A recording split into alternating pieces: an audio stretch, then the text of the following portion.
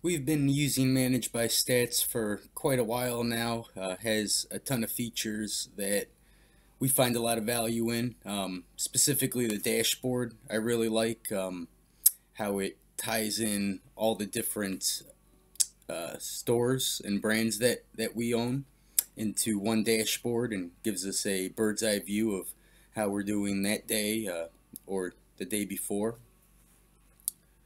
Another uh, cool feature I like about it um, is probably the ease of access to customer data. Uh, we subscribe to a couple other other similar services, uh, but do find ourselves going to Managed by Stats and utilizing their uh, search function when it comes to locating a specific order number or customer name. Uh, so yeah, love Managed by Stats and uh, plan on sticking around a long time. Keep up the great work, guys. Thanks.